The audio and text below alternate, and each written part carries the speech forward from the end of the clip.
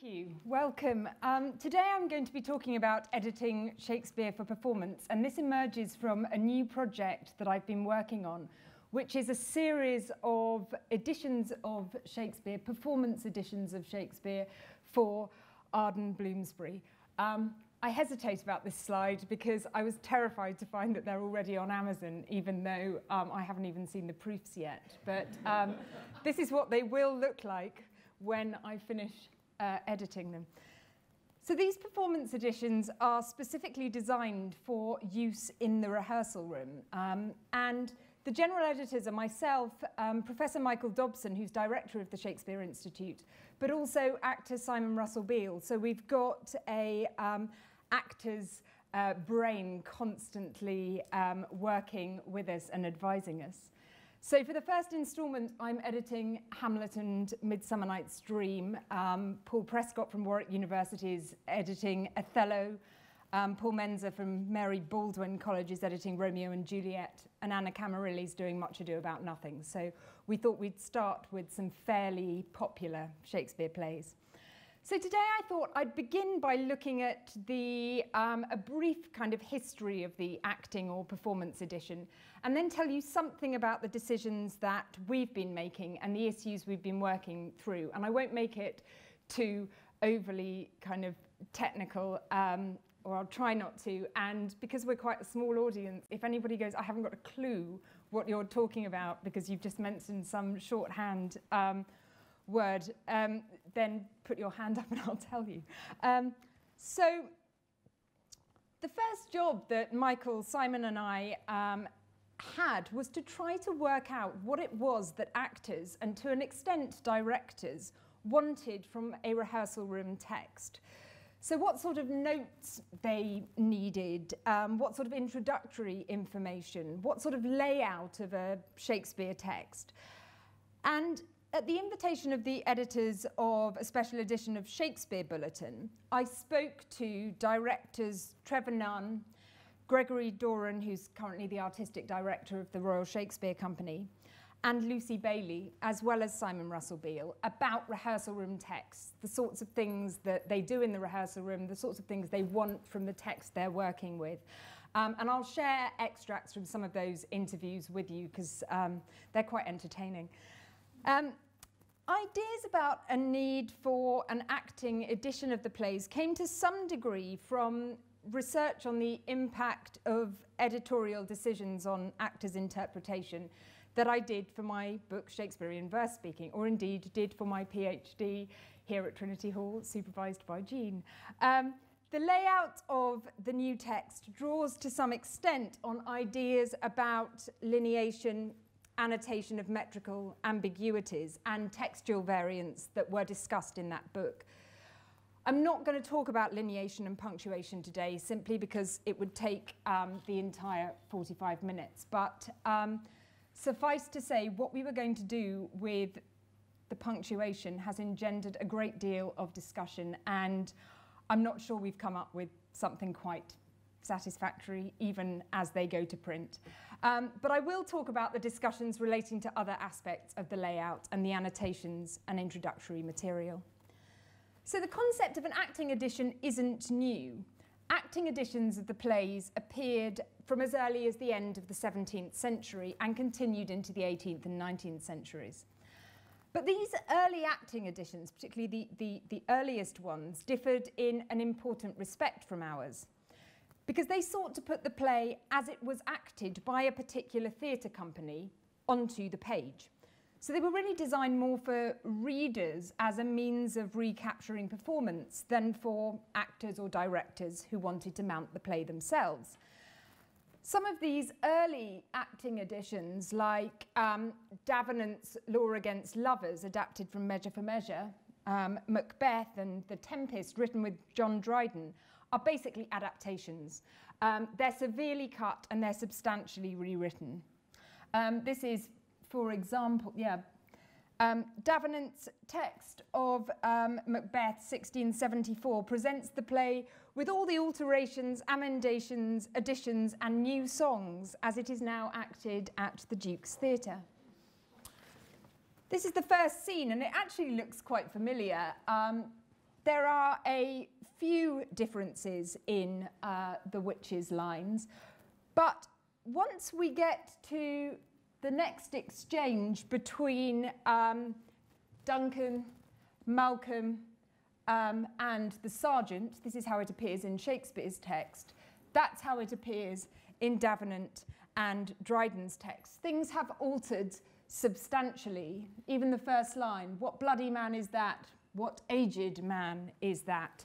So presumably, what bloody man is that was in danger of sounding to a refined 17th century audience, much as it did to a young Judi Dench, who on watching her brother play Duncan in Macbeth decided, Christ, this is for me, not only Shakespeare, but swearing. So other 17th and early 18th century editions print simultaneously the play as performed and the play as written.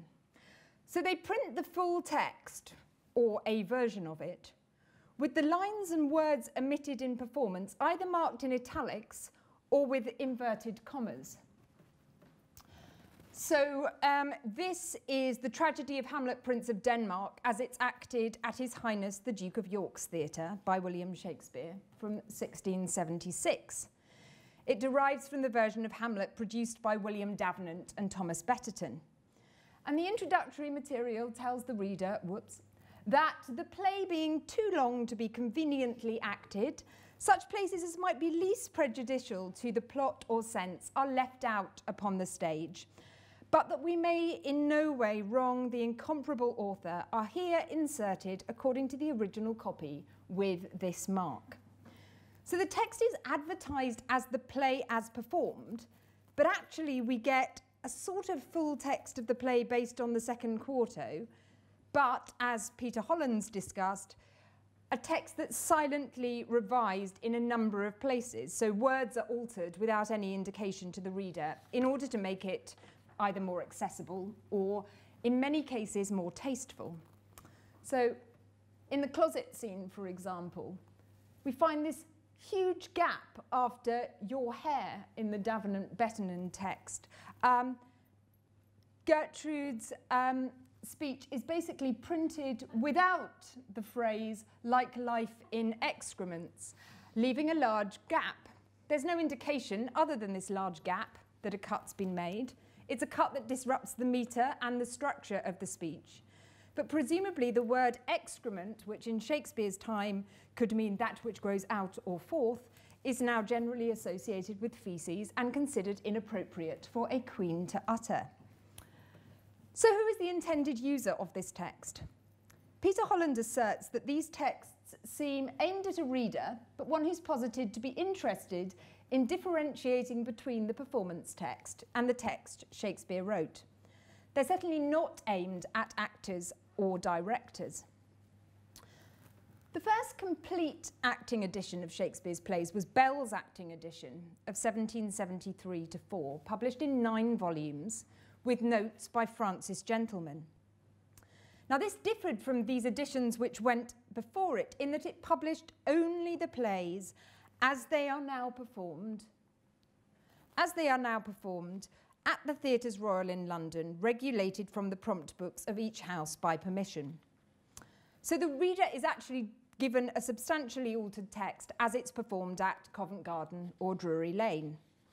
And Bell's text sees one of its principal tasks being to preserve in print what it sees as the superior versions of Shakespeare being performed in the theatre versions which have been corrected of those faults which, in the view of the editors, can justly be attributed to the loose, quibbling, licentious taste of his time. These faults have, according to the editors, been corrected by the theatres. The theatres, which have been generally right in their omissions. Some lines are simply cut. So this is um, this is Claudius's first speech in Act 1, Scene 2 of Hamlet. Um, you may remember that in Act 1, Scene 2 of Hamlet, the speech is somewhat longer. Um, and this is just accompanied by a note which says, four and twenty lines of this speech with a brace of useless ambassadors are omitted commendably. In other of the editions, uh, lines are italicized.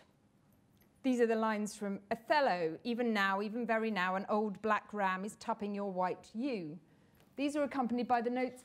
The lines distinguished by italics, for the sake of decency, should be omitted, though usually spoken. So these acting editions continued into the late 18th and 19th centuries with Kemble's, Mrs. Inchbald's, uh, Oxberry's, Lacy's and Kean's editions.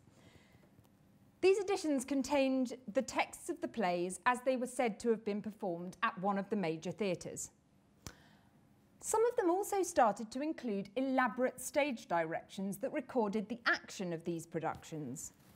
So Lacy's edition of Charles Macready's production of King Lear, published in 1857, contains notes on the costumes worn by each actor. So we know that King Lear wore a long shirt of yellow stuff or merino with wide sleeves reaching to the feet and trimmed with dark fur, circular mantle of crimson stuff fastened at the throat with a, with a jewelled brooch, a gold jewelled coronet crown over a cool cap of crimson stuff, a long gilt scarf, buskins, white hair and beard.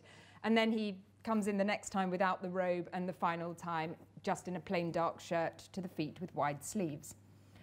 It also contains a list of words um, either obsolete or varying from their common acceptation or requiring explanation. And it also contains this, a list of which characters appear on which page and usefully where they're required to change costume.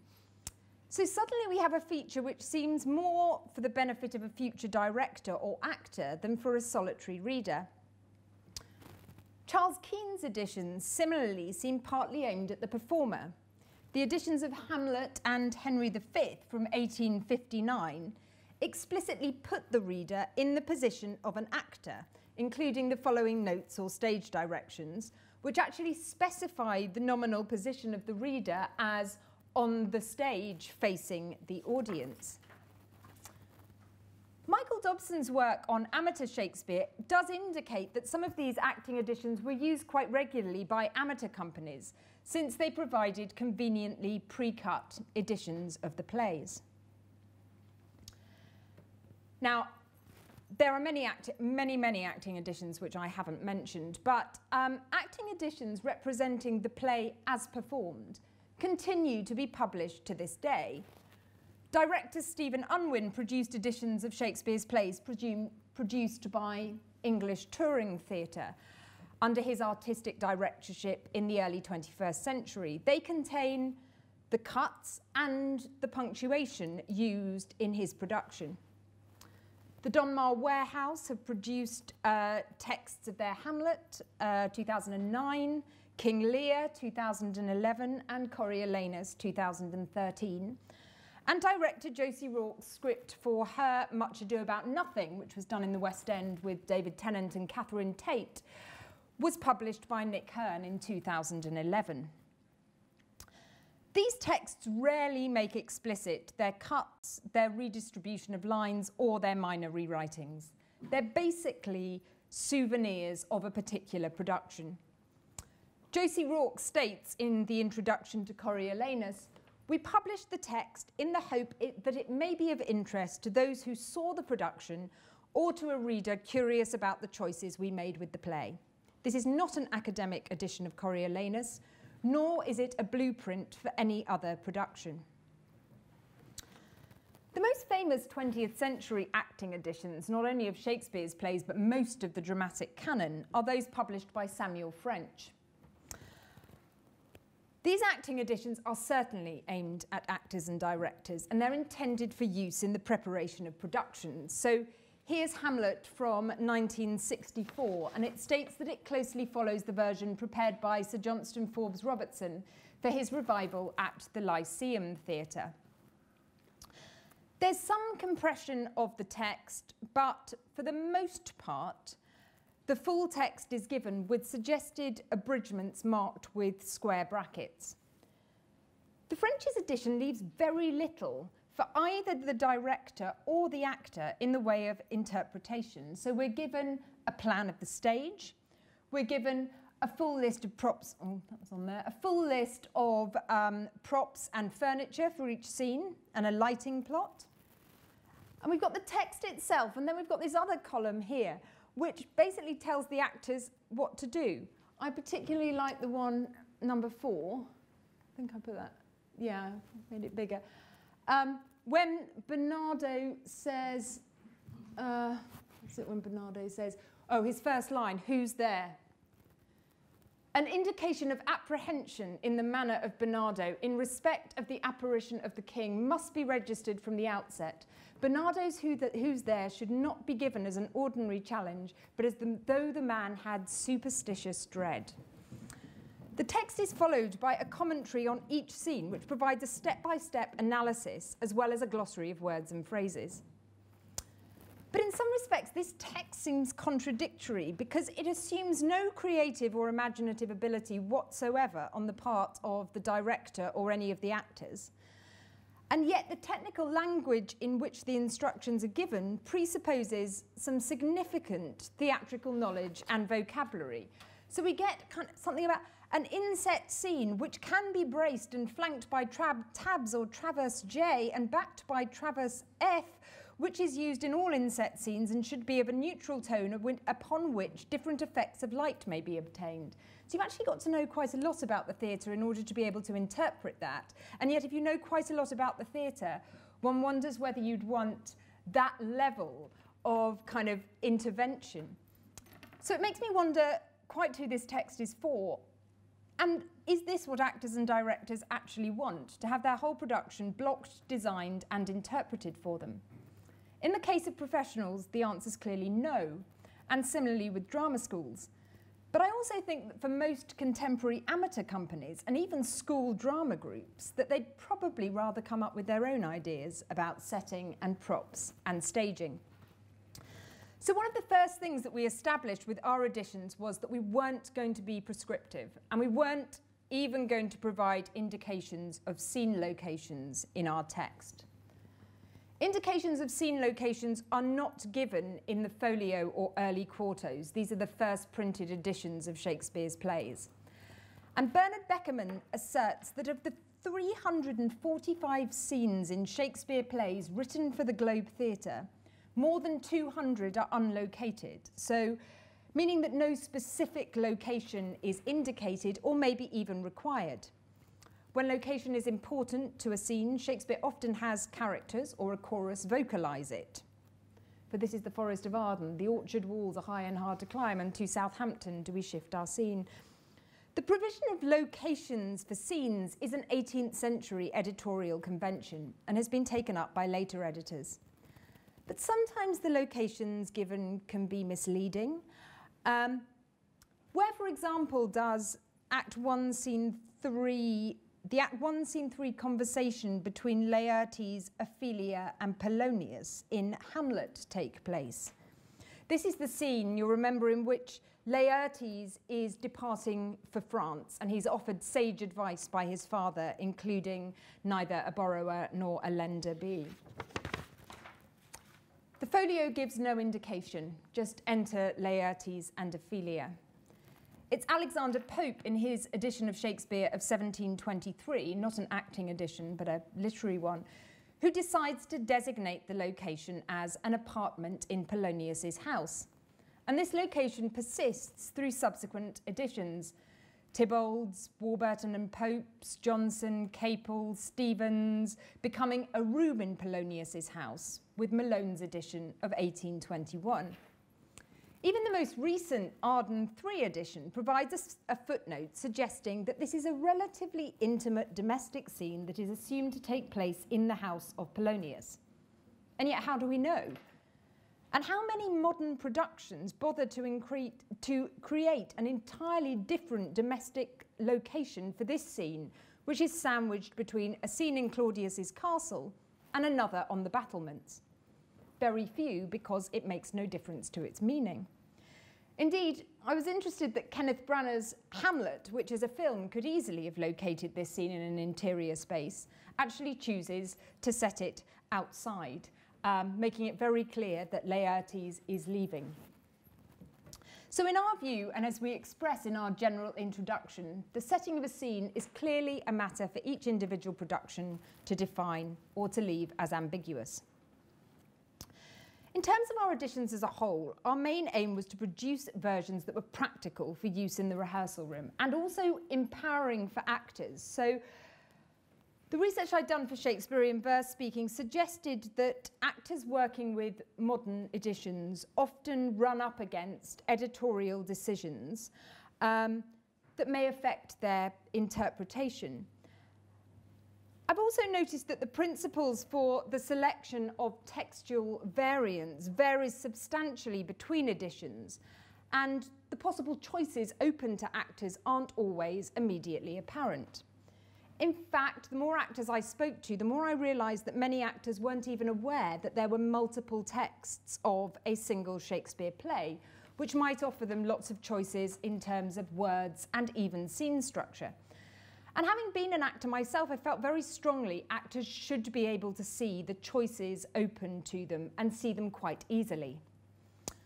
So most scholarly editions, like the Arden and the Oxford and the Cambridge, begin with a substantial introduction that includes material on the performance history, the critical history, the different texts of a play, the historical context, and the source material.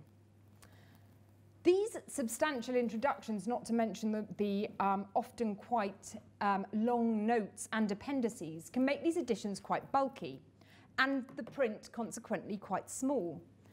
And one of the first things we decided was that our editions needed to be light and practical for use in a rehearsal room. Um, as part of um, working on this, we spoke to quite a lot of drama schools, and um, they kept telling us that many, many of their students were dyslexic. Um, and the Drama UK website um, estimates that um, some drama schools report that as many as 30% of their students are dyslexic.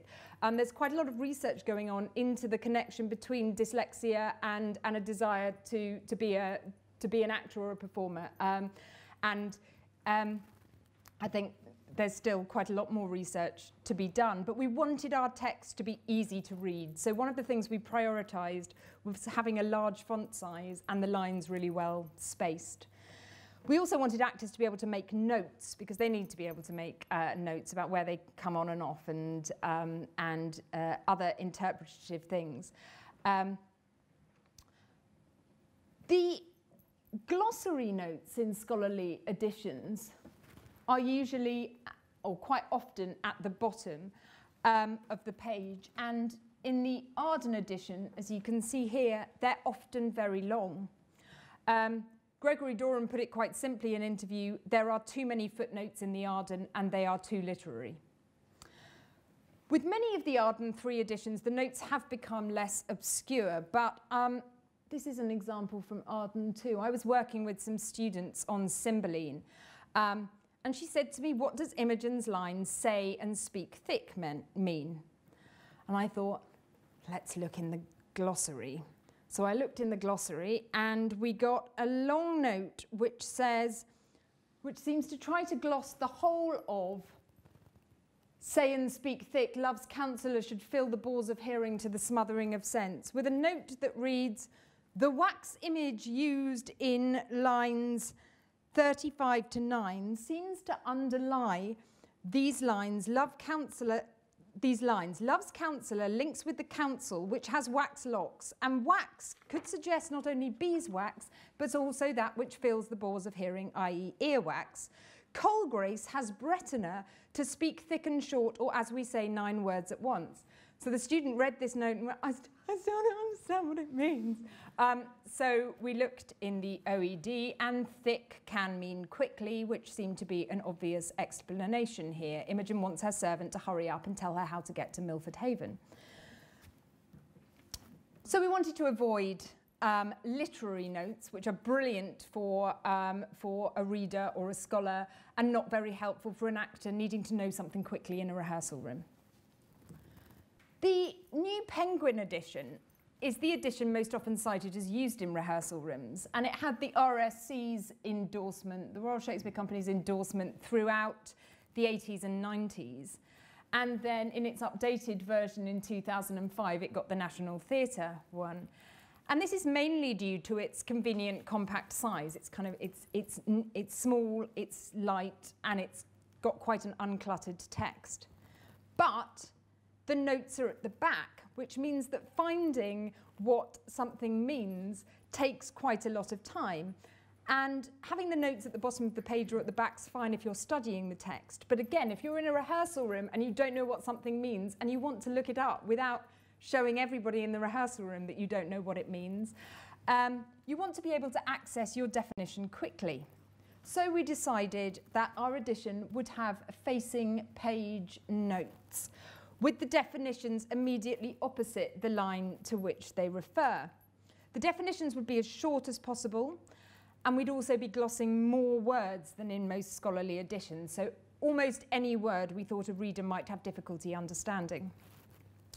Once we decided on these facing page notes, we came up with a two-column system. So in the uh, left-hand column, we've, we've got definitions, and in the right-hand um, column, We've got key textual variants. So here we're telling um, the reader that, um, oh, it's got cut off the end. That's not very helpful, is it? Um, that they could either, that, that Hippolyta can either say four days will quickly steep themselves in night, or as in Q2 in the folio, four days will quickly steep themselves in nights.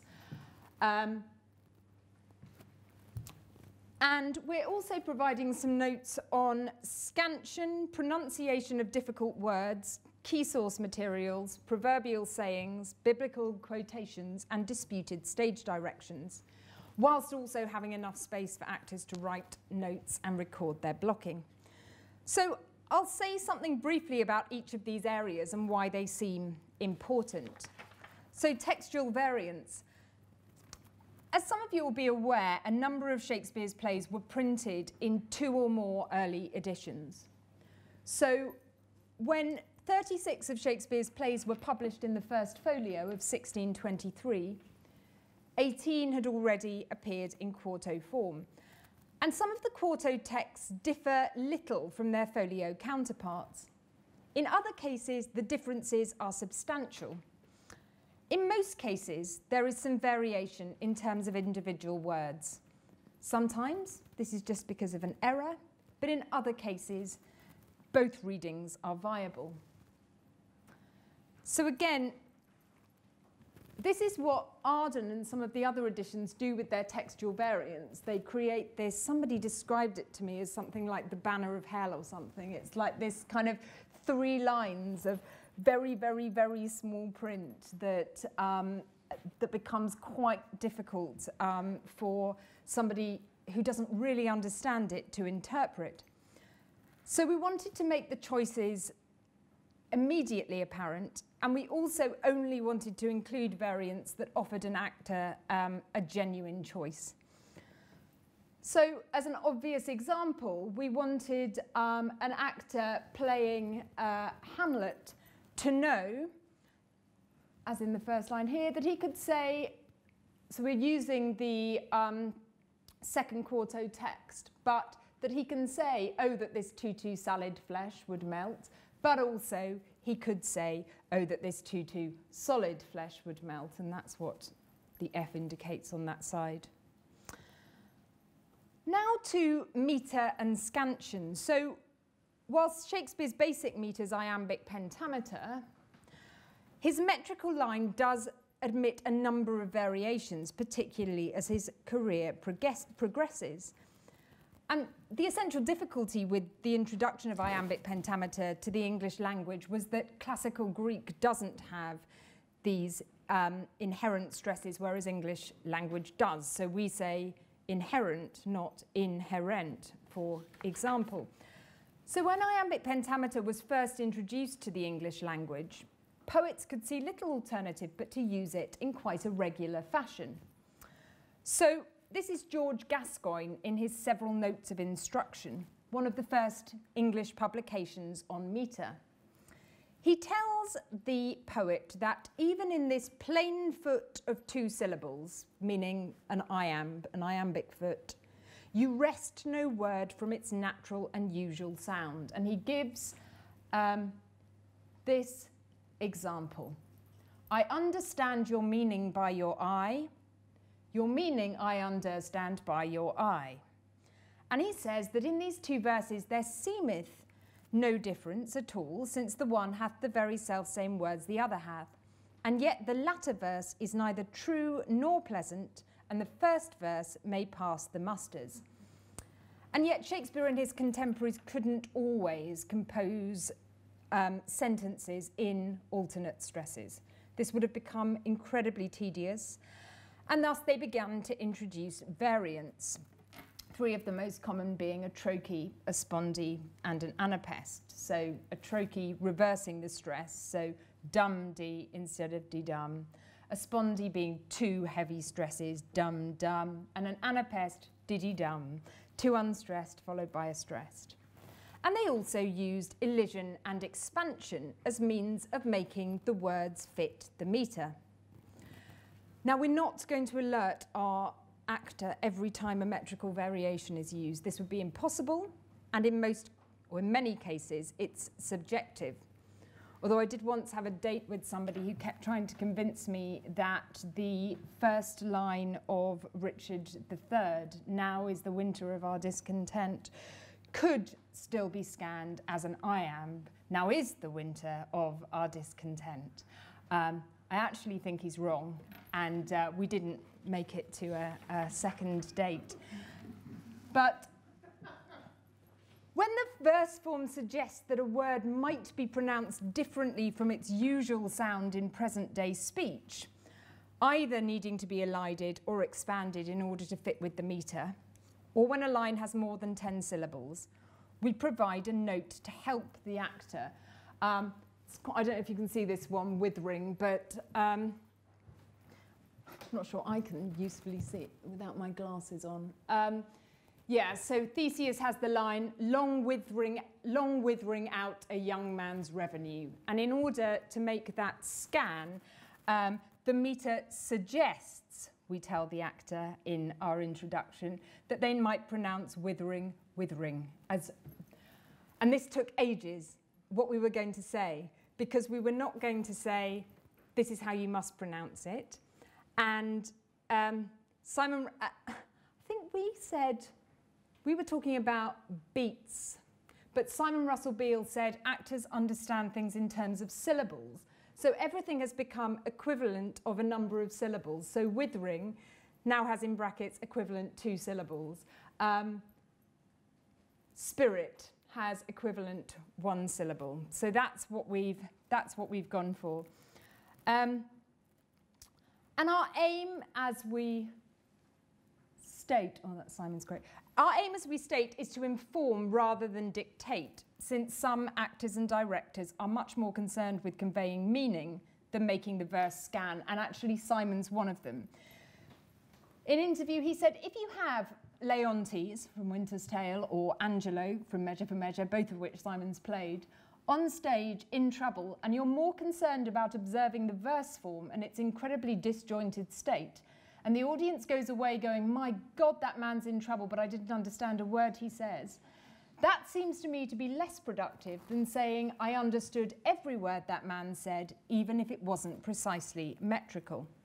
So clearly, it's up to the individual actor.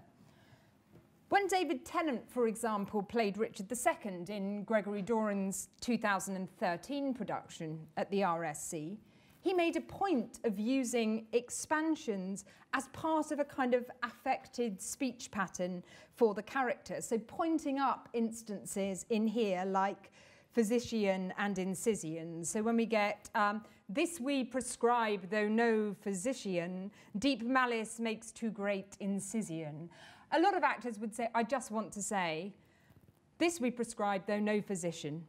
Deep malice makes too, too deep incision. We think it's useful for them to know that the meter suggests that that word is the equivalent to four syllables without saying, pronounce this word physician or incision. So that's been part of the, part of the challenge. When a line is metrically short, we provide a note, but we're very careful not to suggest that any particular delivery is implied by such a structure. And again, this was something that um, was based on research I did for Shakespearean verse speaking. Pronunciation of difficult words is a fairly straightforward one. Actors do struggle, particu particularly with some proper nouns. So we decided to provide a kind of code of how to pronounce words. Um, so we, we use pron, and then we actually try to we thought about using phonetics and then realized that nobody learns phonetics anymore and that actors, th that, that was just going to be even more confusing.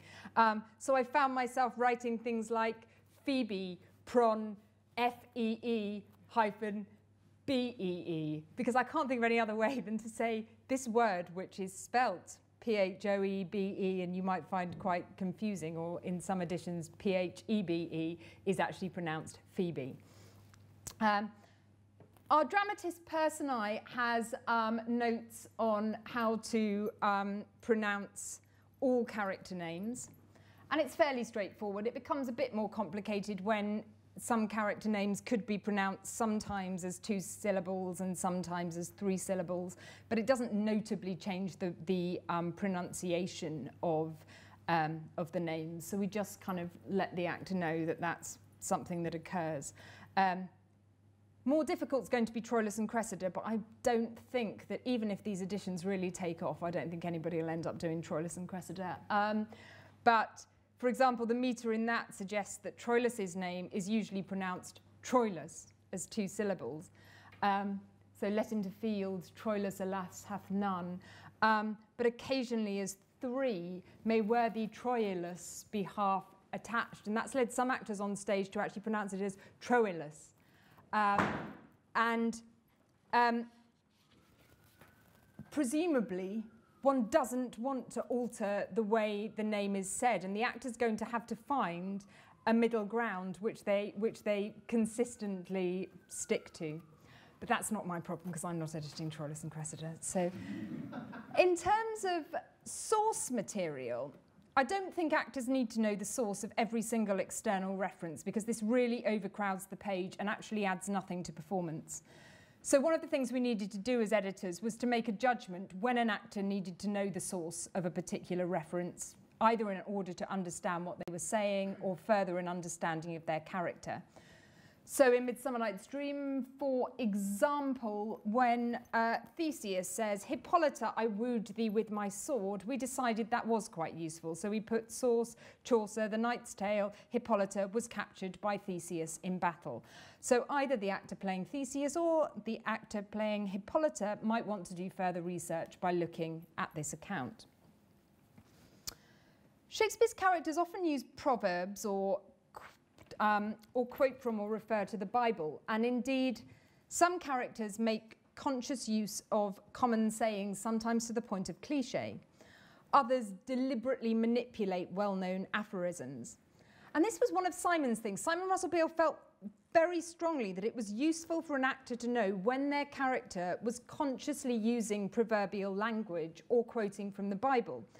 Um, and particularly when a character is prone to these tendencies, so by marking things prov, you can even see in, you know, in, a, short, in a fairly short space um, that bottom um, and quince are quite prone to um, proverbial, proverbial sayings. And he felt it was useful for an actor to be able to see whether something they were saying was um, a proverb.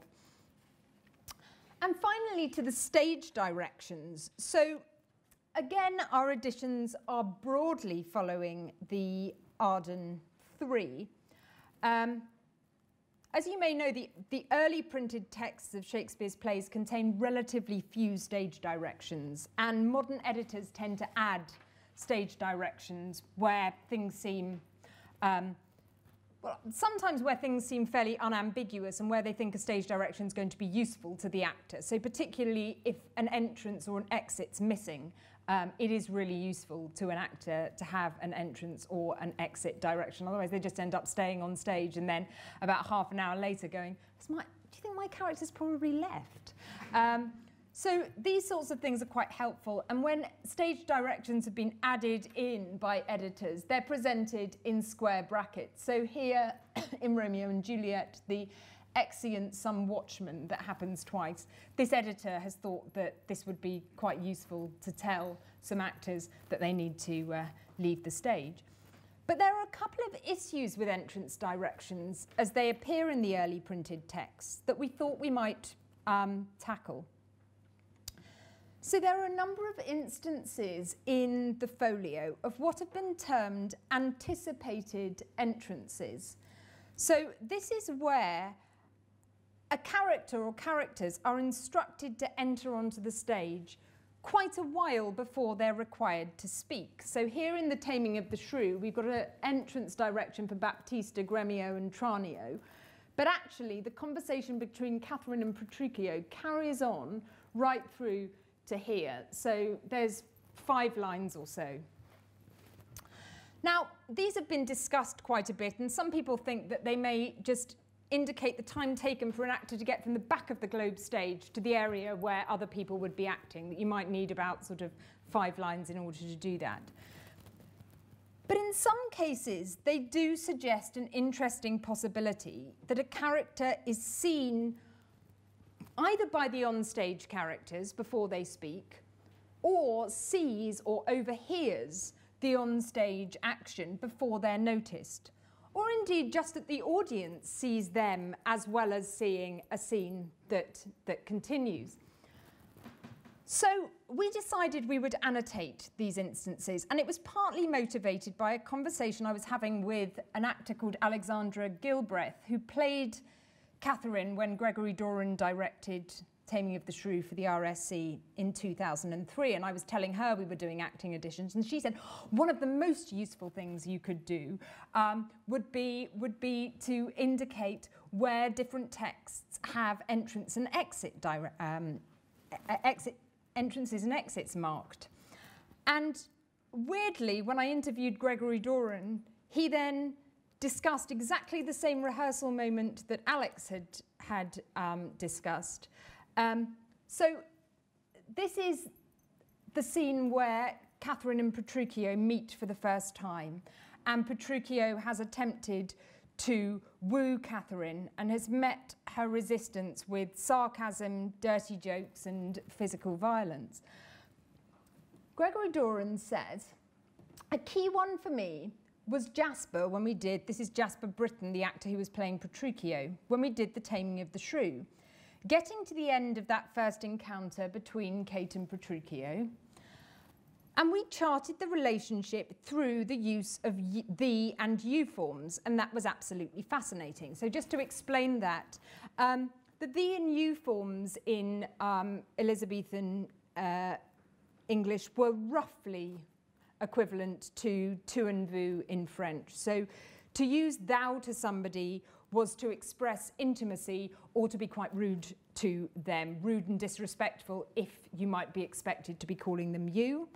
Um, and to use you indicated a certain distance, which might be a respectful one or might, be, might seem a kind of a bit of a rebuttal if you were using it to someone you might be expected to be in love with.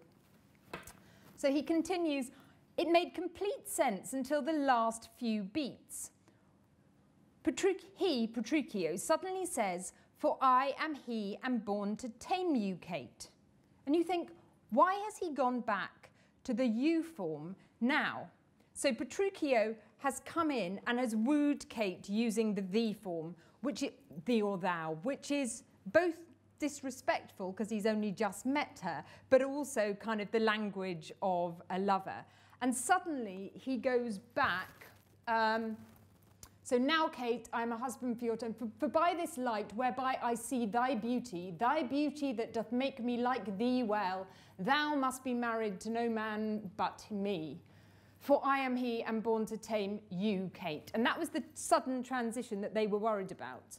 Why did he suddenly start calling her you? And there are many explanations that lots of people have come up for, for that change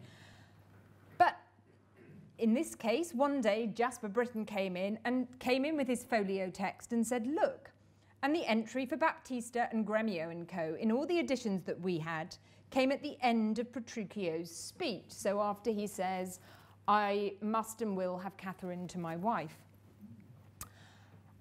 And in the folio, it came before these lines. Now, clearly this isn't concrete evidence that Petruchio would have seen Baptista and Gremio on the early modern stage before saying these lines, but having heard this from an actor and a director, it seemed helpful to provide the actor with that option. So indicating the spread of lines during which a character might enter. So we've, um, if I was editing Taming of the Shrew, which again I'm not, um, we would probably put a note saying, folio in the folio, Baptista, Gremio, and Tranio enter here, and in most modern editions, they enter here. And then it's there and it's clear. Another issue um, is that of stage directions for entrances that include characters who don't speak in a scene, or in extreme instances, characters who don't speak in the whole play. So when a character's name is given in a stage direction, but they don't speak in the play, they're usually termed ghost characters.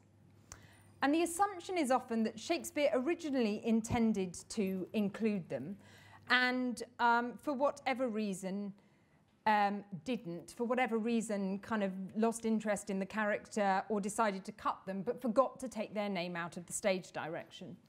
So we've got an example here. This is the um, um, beginning of Much Ado About um, Nothing and we get an entrance direction. Enter Leonato, governor of Messina, Innogen, his wife, Hero, his daughter, and Beatrice, his niece, with a messenger. His wife, Innogen, says nothing, is not referred to by anyone or addressed by anybody ever again throughout the play. So most editors just get rid of Innogen altogether. They decide that it was a mistake. Shakespeare had originally thought, why not have, you know, a, a mother for Hero, a wife for Leonardo, but couldn't really find anything for her to do. Um, but some recent scholars have suggested that she might be a deliberate silent presence in the play. So the Methuen Much Ado About Nothing Shakespeare in Performance edition, which Peter Holland edits with David Bevington, they choose to leave Innogen in the stage directions. They say, though the character has no lines, her visual presence may have had some significance. And some stage productions have cho chosen to include her. So in Josie Rourke's um, 2011 production at the Wyndham's Theatre, the one with uh, David Tennant and Catherine Tate, Josie Rourke decided to reinstate Innogen. Um, she was no longer silent. She had some of the lines that are normally allocated to Antonio, Leonato's brother, who didn't appear. She said it was nice to increase the number of women in a classical play, but she also said that it was really interesting to think if Hero has a mother, what her relationship to that mother might be. So again, it's just become a matter of um, alerting an actor to the fact that in some of the early stage directions, these characters appear, they don't speak again, do with that what you will. Less extreme cases can be found in both of the texts I'm working on. So in Act 1, Scene 1 of Midsummer Night's Dream, in the quarto texts, but actually not the folio, the stage direction has Helena enter for um, the, in the first scene um, along with Aegeus, um, Hermia, Lysander, and Demetrius. Helena says nothing in this scene, but quite a number of productions have chosen to include her because it emphasizes her humiliation um, when Demetrius's former relationship with her is discussed in public. So you'll remember Lysander says, Demetrius, I'll avouch it to his head, made love to Nedar's daughter Helena. And um, if Helena's actually standing there, it's, it, it sort of increases our sense of pity for her um, before she's even started soliloquizing. A similar instance occurs in Act 1, Scene 2 of Hamlet, the first major scene in which we meet Gertrude, Claudius, Hamlet, Polonius, and Laertes shortly after their wedding. Ophelia is introduced in the folio stage directions, but does not speak. So Hamlet, Polonius, Laertes, and his sister Ophelia, lords and attendants. Again, a number of editors just silently remove um, Ophelia from the stage direction. The assumption is it's a mistake, she has nothing to say in the scene. But actually, a number of theatre productions choose to have her in the scene, partly to introduce her as an important character early on in the play, but also to have her as a kind of silent, observant presence and to emphasise from quite early on um, her relationship to her father and her brother as one of being kind of subservient. And finally, to the introductory material. So, with facing page notes, with facing page notes and larger font, the additions might start getting bulky, so we needed to be really selective. We needed to work out what actors and directors might want to know, what they needed to have to hand in the rehearsal room, and what they could quite easily do as research at home. So talking to Trevor Nunn and Greg Doran and Lucy Bailey and Simon Russell Beale was really illuminating. Trevor Nunn comes from an older generation of directors, and he was very open about the fact that he feels that directorial authority is being eroded, uh, mainly by the fact that most actors have iPads in the rehearsal room. So, as he explained, the director traditionally was the person in the rehearsal room to be approached by the acting company with questions such as, What does this mean? or How do we interpret this? or What is this reference? I don't understand it, and so on. And a great deal of directorial authority flowed from he or she being able to answer those questions satisfactorily, and that means a lot of preparatory work, so that the director could be the wisdom in the room and the knowledge in the room, and therefore the adjudicator of anything that might be in dispute. So when I asked him whether he thought the acting editions should provide material such as a production history, source material, textual variants, etc., he said that he would prefer to be the seat of that knowledge, gathering the actors around and cherry picking and selecting things that, you, that would inspire them and get them going, and not saying, here's your research project, come back tomorrow, uh, um, all of you having read this material, and then we'll debate it. Because I think you're ankle deep, you can't move. One can see Trevor Nunn's point, but such an approach that situates the director as the seat of all knowledge and the actors as vessels into which the knowledge is being poured does seem to have a touch of Gradgrind about it. Gregory Doran and Lucy Bailey both expressed their desire to know about source materials, production history, historical context, and variant texts. And both seemed open to the idea that a text might provide actors and directors with such information. So Lucy Bailey said, actors are very bright and they don't want to be denied accessing a way of playing character. She added, whether they want a performance history, I doubt. And the performance history has been a really interesting area because all three directors expressed their own interest in a performance history of the play, Doran said it was intimidating and expiring. Lucy Bailey said it was a debating shop, um, which allowed her to feel that there was an exchange of ideas going on.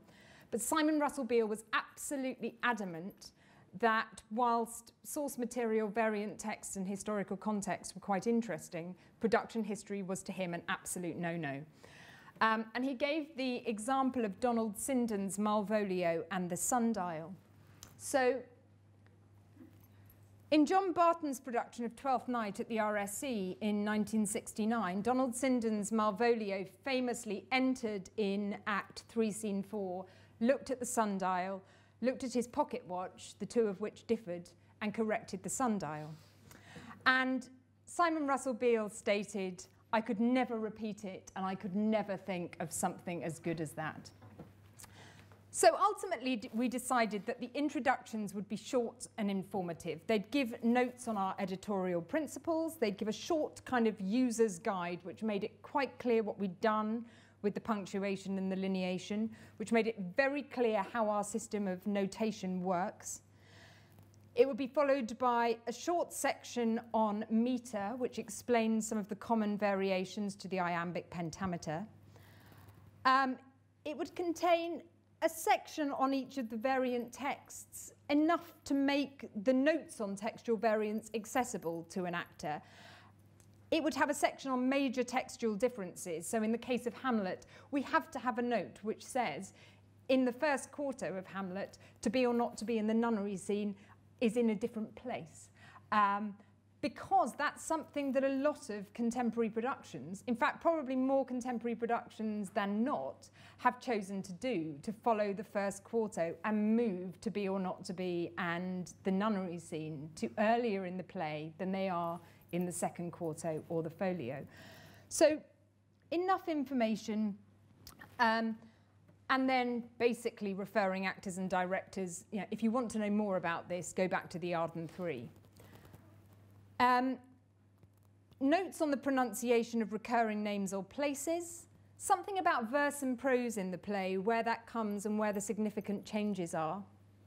The use of meters other than iambic pentameter, this has been particularly um, important with the fairies in Midsummer Night's Dream, who often speak in um, trochaic meters, trochaic um, tetrameter or trimeter.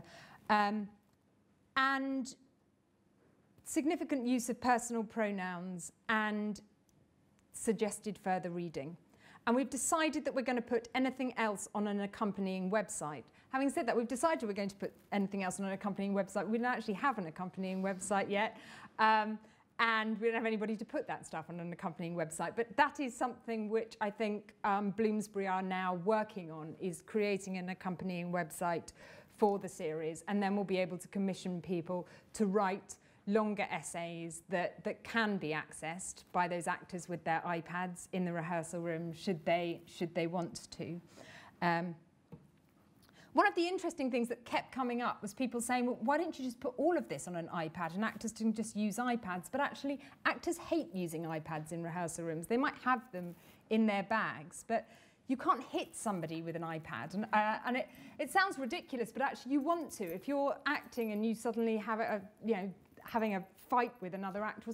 You might, with another character, you might well just want to whack someone, or you might just want to fling your text down on the floor and get on with doing something with your hands. And if it's an iPad, there's a sudden kind of anxiety about putting it down safely um, in the corner. And also, um, I think people are, yeah, yeah, worried about breaking, uh, cracking iPads, etc. So we're sticking with we're sticking with paper for the moment.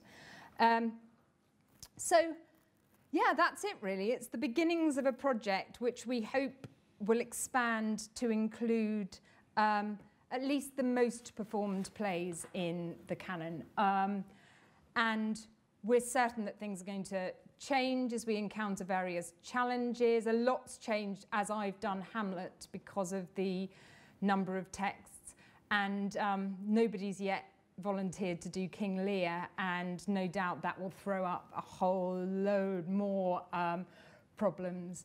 Um, so it's it's still quite it's still quite fluid, but I think the first texts are now going to be published in um, October. So watch this space. Thank you.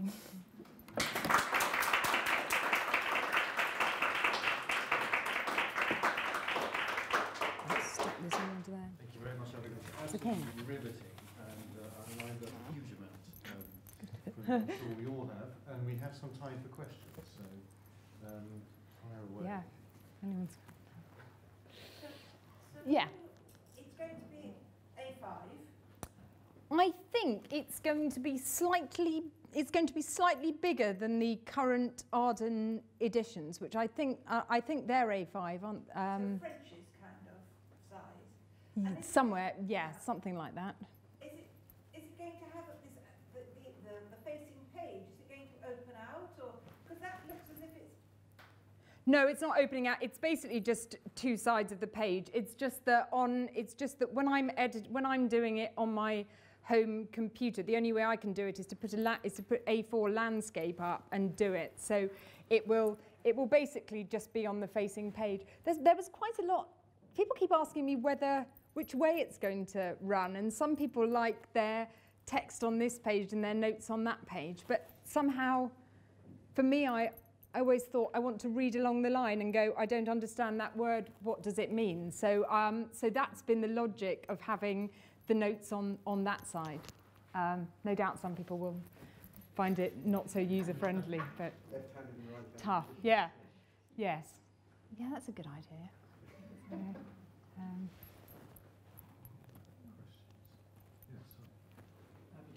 say a bit more about um, the actors and directors rejection of performance history. Um, Yeah. Slightly, I, I thought you were going to say Trevor Nunn said this, and then. No, well, everybody Trevor, Trevor, Trevor Greg, and Trevor Nunn said, I, of course, I want to know all of that, and of course, I've read, you know, every production history of Hamlet that's ever been written. Um, but I just don't want my actors to know any of that before they enter the rehearsal room, and I want to spend three days telling it to them. Um, and he was quite open. He was actually quite open about it. He kept saying, "I know this is going to sound really awful," um, which. Um, and it didn't. It just sound. It just sounded. Old, it just sounded old-fashioned now, given given the way in which rehearsal rooms have have changed. Um, Greg Doran and Lucy Bailey both said, "I really want to. I really want um, to know about performance history as well."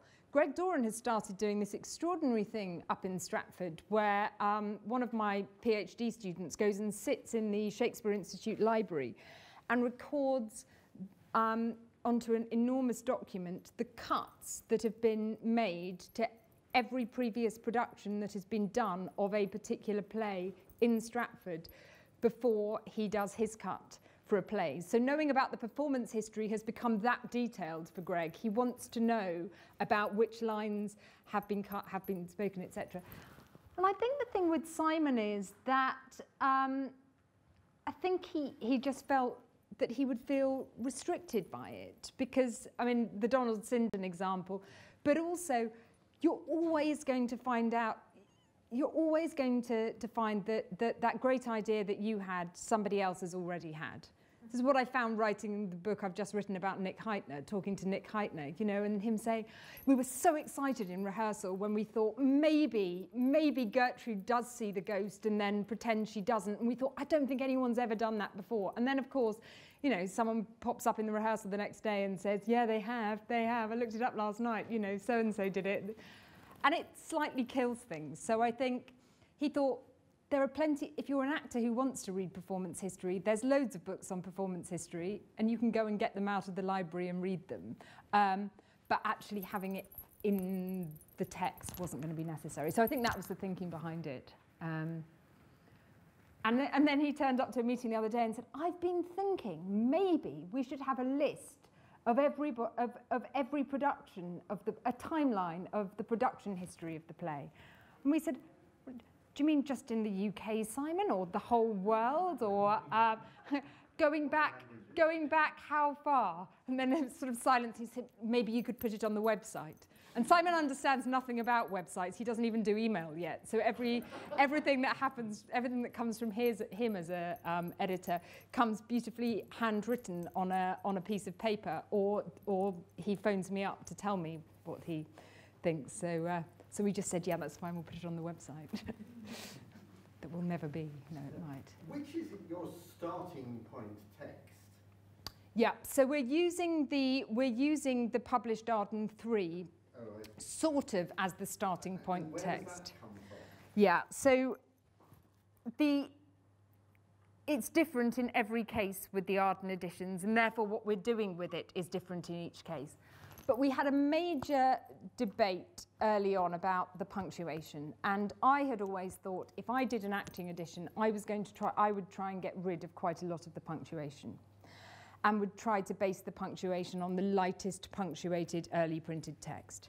But when we actually started thinking about that as a principle for a series, it became really problematic because whilst taking, for example, the second quarto of Hamlet, which is really lightly punctuated and you know probably printed from from at least only a couple of states removed from an authorial manuscript, we would then come up against The Tempest, where the only text we have was transcribed by the scribe Ralph Crane, who we know added in so much punctuation. So then we were faced with going, well, then would we publish something where Hamlet would have next to no punctuation and The Tempest would have masses? No. And then we thought, well, then do we end up just randomly taking out punctuation? So I spent quite a while going through doing a kind of Peter Hall, Stephen Unwin thing and stripping out punctuation. And then we went, well, what are we going to tell the other editors? Just kind of what? Take out the punctuation you don't like very much, you know, keep the rest in. So in the end, we thought, no, what we need to do is just say, we're printing the text with the punctuation used by Arden 3. We know that these editions are punctuated with a, with a reader in mind. We know that, that actors find them over punctuated. You may not want to take too much notice of know, all the punctuation. Don't feel tied to that comma. My husband's an actor and he was doing a workshop the other day and he came back and said, with a director called Peter Gill, and he came back and said, we were doing that, we didn't get further for about an hour than the first line of Midsummer Night's Dream. And I said, why? And he said, because Peter kept saying, no, that's not right, you're not doing it right. Um, we were, none of us could phrase it right. And I said, well, what did he want you to say? Said, he wanted us to say, now, fair Hippolyta, our nuptial hour draws on apace. And said, well, which edition were you using? So he got out the edition. And of course, it's now, comma, fair Hippolyta, semicolon, our nuptial hour draws on apace. And all the actors were going, now, fair Hippolyta, our nuptial hour draws on apace. And it was that comma. And so I thought, I'll, I'll get rid of that comma in my edition. It'll, it'll, it'll solve all the problems. And actually, it doesn't because it becomes random. So we are using the, we're using the, the Arden 3. But in terms of textual variants, in the case of the Arden 3 Hamlet, that's based on the second quarto. And they, for various reasons, because they printed three texts separately, use textual variants that are just odd and not used on stage. So Pol Polonius says, neither a borrower nor a lender boy, rather than neither a borrower nor a lender be, and they retained that reading. So we decided quite quickly that actually that wasn't going to work. So although, I, although it's based on theirs, I've actually used the textual variants which are most commonly spoken on the stage um, in, our, in our view. So it's a bit, it, it, does, de it does depend a bit, um, but yeah, that's the, that's the basis text. Been talking about a Shakespearean uh, edition. Um, I suppose most and members of the audience have seen many editions of Hamlet. Yes. Many performances. What about things which the, the actors don't know so well? Is there an idea of doing similar um, editions for, I don't know, Spanish tragedy or revenge? Um, mm -hmm. I, I, don't see why not. Somebody did say the other day, why don't we do these for the Arden um, non-Shakespeare um, uh, plays um, as well? I think the honest answer is money. Um, Bloomsbury know that if they produce editions of Hamlet and Midsummer Night's Dream, which, apart from anything, have very simple, straightforward glossing and quite thorough glossing, that probably some schools will buy those as well. Um, drama schools, um, you know, they're looking to that kind of audience. And that's why as I said at the start, Hamlet, Midsummer Night's Dream, Othello, and Romeo and Juliet, um, and Macbeth are the starters. Um, I think, of course, you could do this with other texts, but um, I guess the market for those for the Arden non-Shakespeare's anyway that they produce is very small. So I'm. then end up by having a bias in what is being performed on the stage because to what's being produced as uh, Oh, I don't know which way, I'm not sure that's the way round, I'm not sure that's the way round it works really. Um, the, I suppose it would take such a lot to change the, the tradition of doing um, Shakespeare plays more frequently than the plays of his contemporaries. And actually, Greg Doran has gone a long way towards that in Stratford because he's gone back to having the Swan Theatre dedicated just to the plays of Shakespeare's contemporaries and doing Shakespeare in the main house. So there are quite a lot being done, but they won't, you won't consistently repeat the same ones. So when, when Greg finishes doing um, the whole canon of Shakespeare's plays, which I think he's, take, he's going to take, I think it's going to take 10, it's going to take eight, eight or 10 years to do, to do the whole lot then you know they'll start doing them they'll start doing them again. And meanwhile some of them will have been done at the national and the globe whereas shoemaker's holiday has probably had its only outing at the rsc for some time. So yeah i think it's i think it is primarily to do with with um, being able to justify figures to bloomsbury. Isn't everything now? Story of our lives. Yeah. Yeah, it's interesting what you're saying about whether the text will be taken up by Yeah. And Mm. what your view is, this is sort of slightly, slightly Mm. what your view is about modernising the text of Shakespeare, because you've gone for Yeah. this is, this is the old text and we'll Yeah. show people how to Yes.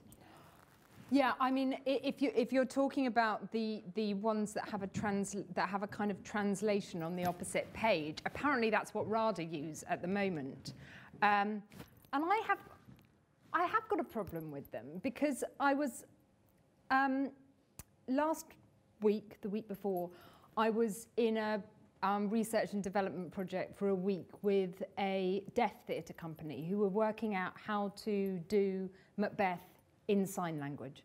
And in order to be able to do that, we had to kind of translate Macbeth into English, into some sort of English, in order then to be able to, to translate it into sign language, because there are not there are th- th- there's no British Sign Language for quite a lot of words in Shakespeare. And they had these Shakespeare Made Easy copies. And of course, it becomes quite, it, I became increasingly aware of things becoming reducted and having to say to them, well, that's not actually really what it means. What it means is something more complex than, than that. But this person's, you know, what were they supposed to do? And something like Lady Macbeth saying, fill me from the uh, crown to the toe, top of, uh, full of direst cruelty or whatever she says. But the, but the reference to crown there being both her head and a reference to the fact she wants to be queen just goes when it's filmy from top to toe in the translation. And it's just sort of frustrating. Whereas if you can gloss a lot of words, you can actually help somebody understand it without reducing the meanings down. And you can make puns, you can make puns clear. You know, you just use the slash to say, you know, it means this or this. Um, or it's a pun on this. Um, so yeah, I've just found those those a little bit too reductive, the translations. Um, but some are better than others. Definitely. We had different ones in the rehearsal room, and about halfway through the week, we went, we can't use this one anymore, and you know, had to had to get rid of it because it was doing strange stuff. Um, so, yeah, I have mixed feelings. But it'd be interesting to see whether whether um, it's something in which schools are interested. I think it's because Arden don't have a schools edition, like Oxford and Cambridge have their their Shakespeare schools editions. So I think they're thinking it might serve two purposes. Don't know. Again, watch this space. Um, Yeah, I think we're at the end of the question. yes, Thank Fine. you very much indeed. Not at all. No, You show our thank you. Thank you very much. Thank you for coming.